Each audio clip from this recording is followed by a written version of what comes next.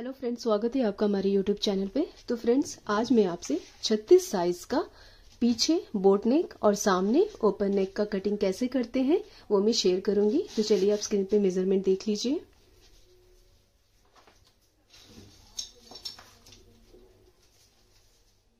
अब हम ब्लाउज की कटिंग स्टार्ट करते हैं तो सबसे पहले हम बैक पार्ट की कटिंग करेंगे।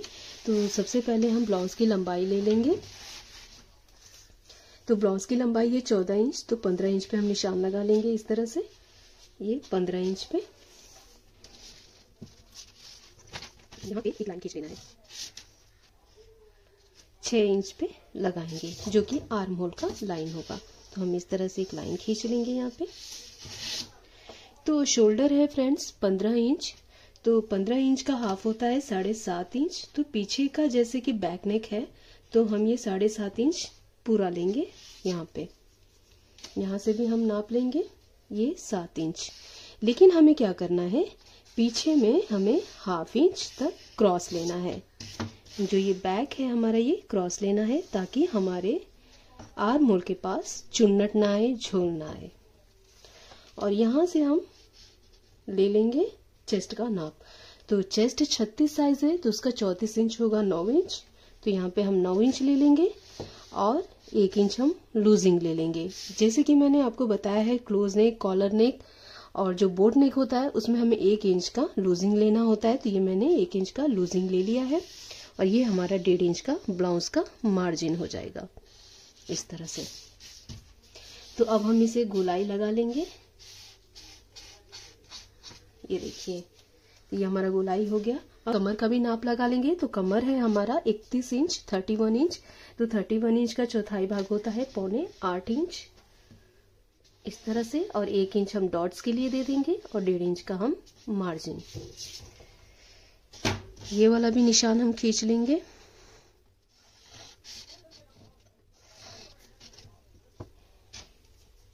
अब हम नेक का निशान लगा लेंगे। तो ये हमारा पीछे का बोट नेक है तो ये हम चार इंच पे लगाएँगे, इस तरह से। इसे हम साढ़े तीन इंच पे लगाएँगे।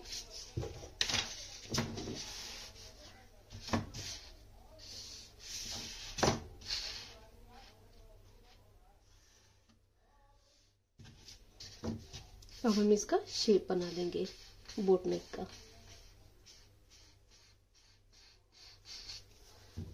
इसे हमें क्या करना है? हाफ़ इंच तक डाउन करना है। इस तरह से।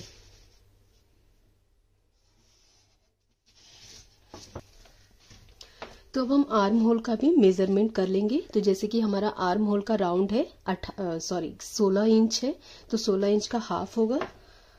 आठ इंच तो हम ये देख लेंगे, ये हमारा आठ इंच आ रहा है या नहीं आ रहा है, ये हम हाफ़ इंच छोड़कर ही नापेंगे।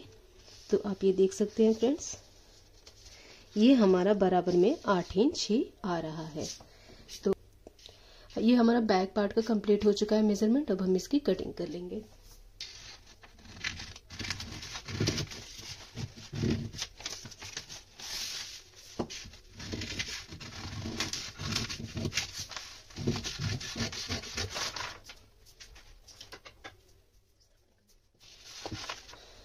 अब हम ये बैक टक्स का भी निशान लगा लेंगे तो इसे हम इस तरह से फोल्ड कर देंगे। और चार इंच का या साढ़े तीन इंच का भी हम लगा सकते हैं बैक टक्स ये चार इंच पे मैं लगा दूँगी। तो फ्रेंड्स, ये हमारा बैक पार्ट कंप्लीट हो चुका है। वो फ्रंट पार्ट की कटिंग कर लेंगे। फ्रंट पार्ट की कटिंग कर लेंगे तो सबसे पहले हम क्या करेंगे? हुकाई के लिए मार्जिन ले लेंगे।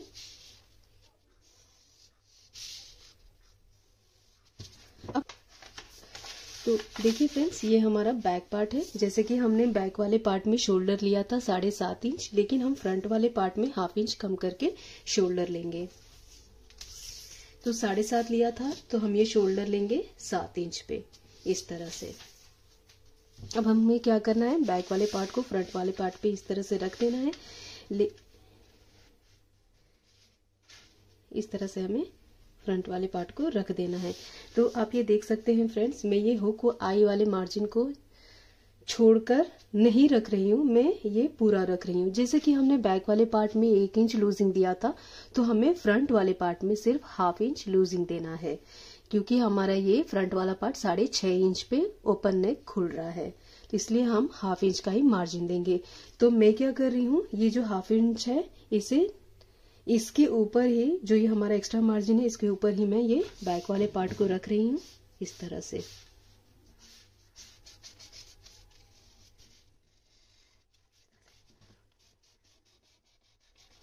तो ये हमारा कंप्लीट हो चुका है मेज़रमेंट अब हम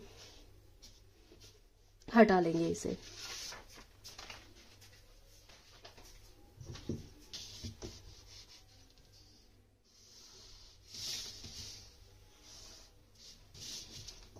अब हम इसकी गहराई से निशान लगा लेंगे।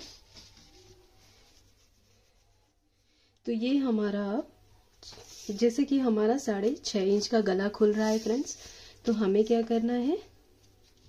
ये इस तरह से साढ़े छह इंच पे ये टिक लगा देंगे।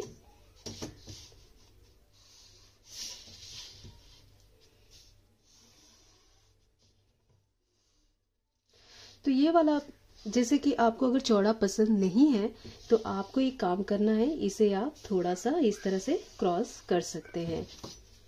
अब हम इसकी गुलाई का निशान लगा लेंगे। इस तरह से। तो ये हमने ये गुलाई का निशान लगा लिया है फ्रेंड्स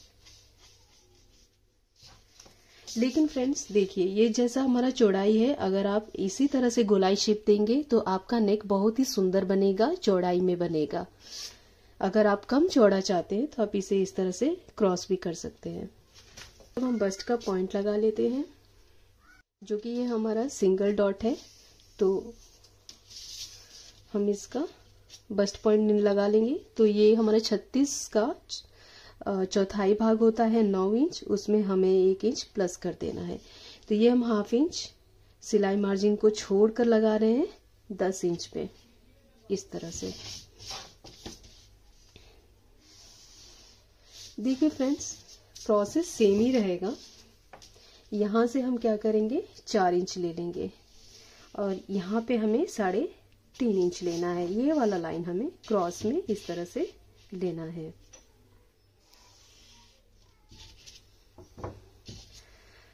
सवा तीन इंच का हम पफ दे देंगे। अब हमें इस तरह से इसका शेप बना लेना है। ये सिंगल डॉट का ये शेप है। अब हम कमर का नाप ले लेंगे फ्रेंड्स। कमर का नाप देखिए, यहाँ से साढ़े तीन इंच, ये हमें साढ़े तीन इंच छोड़कर यहाँ पे कमर था हमारा। पौने आठ इंच तो ये हम ये साढ़े तीन इंच छोड़कर नापेंगे। तो ये देखिए, यहाँ पे हमारा पौने आठ इंच का शेप आ रहा है। ये डेढ़ इंच का हमारा ब्लाउज का एक्स्ट्रा मार्जिन हो जाएगा।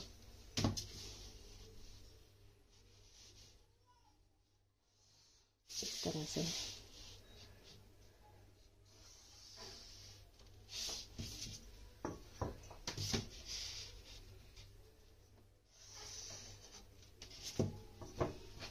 तो हमें इसके ऊपर से कटिंग नहीं करना है फ्रेंड्स इसे हमें इस तरह से जितना भी आप पकड़ कर सिलाई करते हैं, उतना आप यहाँ से आप छोड़ दीजिए। देखिए, हमें कटिंग इसके ऊपर से नहीं करना है, इसके ऊपर से करना है।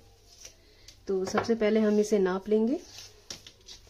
इसे भी नापना ज़रूरी होता है फ्रेंड्स अगर आप इसे नहीं नापेंगे तो जब ये आप जोड़ते वक्त आपका ये आपका ये जोड़ते वक्त ये बड़ा हो जाता है और एक छोटा हो जाता है। तो इसे भी हम बराबर कर लेंगे। तो इस तरह से हम नाप लेंगे। तो ये देखिए फ्रेंड्स ये हमारा चार इंच आ रहा है। तो यहाँ से भी हम नाप लेंगे। लेकिन हमारा ये चार इंच यहाँ पे आ रहा है। यहाँ पे। तो इसको इस तरह से हमें मिला लेना है। तो ये हमारा फ्रंट पार्ट का मेज़रमेंट कंप्लीट हो चुका है, अब हम इसकी कटिंग कर लेंगे।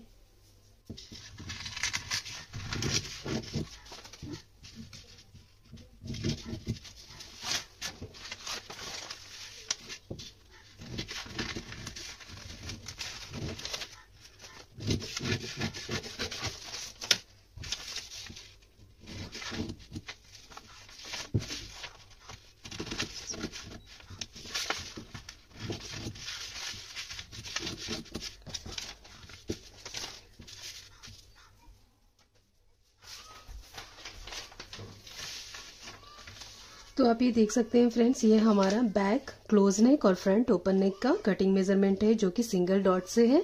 मैं आपको नेक्स्ट वीडियो में फोर डॉट से थ्री डॉट से प्रिंसेस कट से कैसे कटिंग करते हैं, वो भी मैं बताऊँगी नेक्स्ट वीडियो में। तो ये है हमारा अगर आपको ये कटिंग से रिलेटेड कोई डाउट हो तो आप मुझे कमेंट बॉक्स में ज़रूर बताएँ। मेरी वीडियो पसंद आए तो प्लीज़ सब्सक्राइब करें लाइक करें। Thank you